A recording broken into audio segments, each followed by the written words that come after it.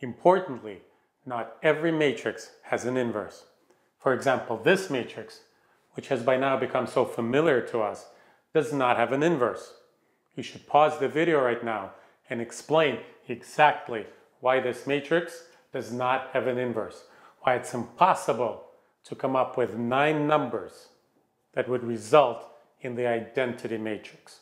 It is impossible to come up with three sets of coefficients. I'm inviting you to take the column perspective on the whole thing so that the linear combinations would result in these three vectors. Here's my explanation. The key is that these columns are linearly dependent. The middle column is the average of the other two, so the null space is non-trivial. And the column space of this matrix uh, is two-dimensional. Now we know that from the null space. If the null space is one-dimensional, then the column space is two-dimensional.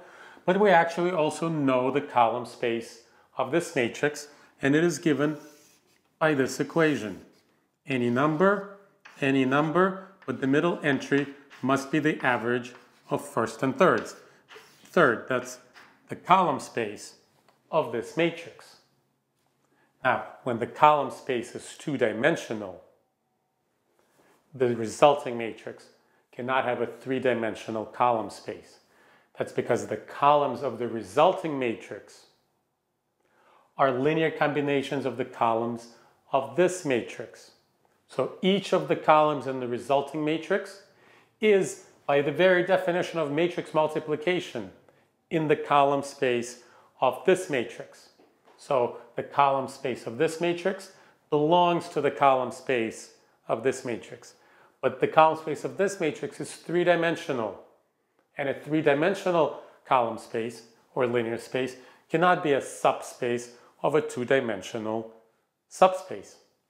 So these columns are also necessarily linearly dependent in this product because they are three columns in a two-dimensional subspace. So it's impossible to come up with sets of coefficients to produce three linearly independent columns, which the columns of the identity matrix certainly are.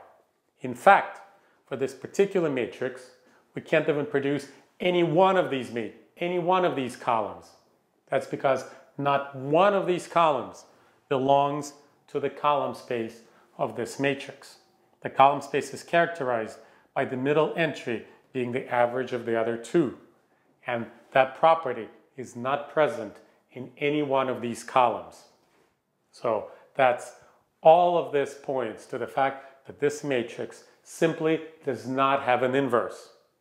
This matrix is said to be not invertible. And if there was such a thing as the inverse for this matrix, just think about the implications. Suppose this matrix was used in a system of equations, ax equals b. And if it somehow had an inverse, we would multiply both sides by that inverse consistently on the left, and we would have x equals a inverse b. This is something we've done several times already. And think about the implications. Number one, the implication would be that this system always have, has a solution. And we know that's not the case because when B is not in this column space, there are no solutions. But if there was such a thing as an inverse, well, A inverse B right here is the solution. So that would be contradiction number one. And the second contradiction is that this also indicates that there's only a single solution. And we know that for any system that involves this matrix, if there is a solution, there are necessarily infinitely many solutions because the system has a non-trivial null space. So that would be contradiction number two. So this matrix simply doesn't have an inverse. And this trick is reserved only for invertible matrices. And when you have an invertible square matrix, the system AX equals B always has a solution and always has a unique solution. And that unique solution is A inverse B.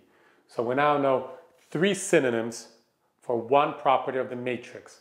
Columns are linearly independent, which is equivalent to rows are linearly independent, which is equivalent to saying that the matrix is invertible. In the course of our study of linear algebra, we'll come up with several more characteristics of invertible matrices. But for now, the primary characteristic is the linearly independent columns.